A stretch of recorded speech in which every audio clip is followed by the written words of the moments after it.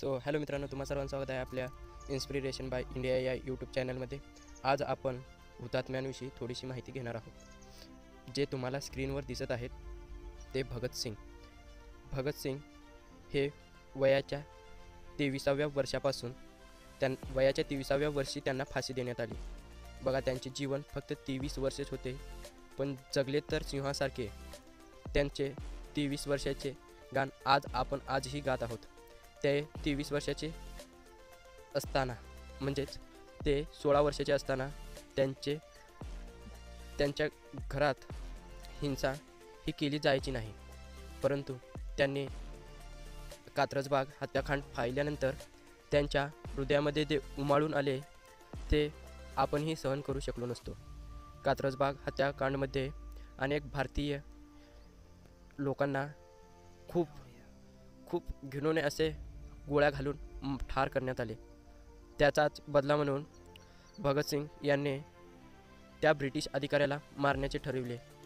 त्यांच्याबरोबर भगतसिंग असे म्हणायचे जेव्हा त्यांना फाशी देण्यात आली तो दिवस म्हणजे तेवीस मार्च एकोणीसशे एकतीस. त्याच दिवशी तिघांना फाशी देण्यात आली. त्यामधील हे एक होते. जरीनं गाठतील जरीनं गाठतील भट डफावर तुझे यशोगान. जरी न गातील भट डफावर तुझे यशोगान. सफल झाले तुझेच हे रे तुझेच बलिदान. असे शहीद भगतसिंग यांच्यावरून पोवाडे गाणे तयार होऊ लागले. त्यानंतर त्यांचेच त्यांचेच सहयोगी शिवराम हरी राजगुरू यांना तुम्ही राजगुरू या नावाने ओळखत असाल. यांचा जन्म लाहोर येथे झाला व यांचीही यांनाही फाशी देण्यात आली. वीर हुतात्मा. भारतीय स्वातंत्र्य लढ्यात फाशीला गेलेले क्रांतिकारक होते.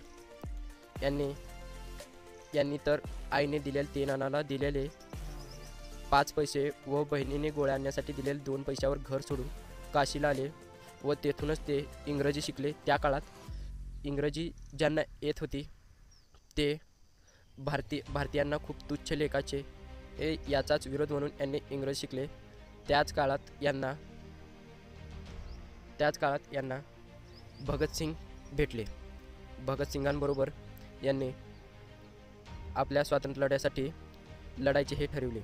चंद्रशेखर आझाद भगतसिंग सुखदेव यांचं नाव घेताच आपल्या म्हणजे जी ऊर्जा निर्माण होते ती उगजच होत नाही.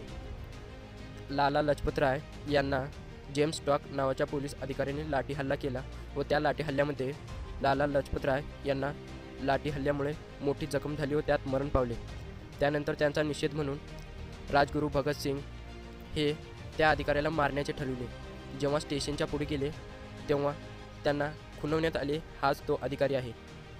परंतु राज भगतसिंग यांना माहीत होते हा नसणार.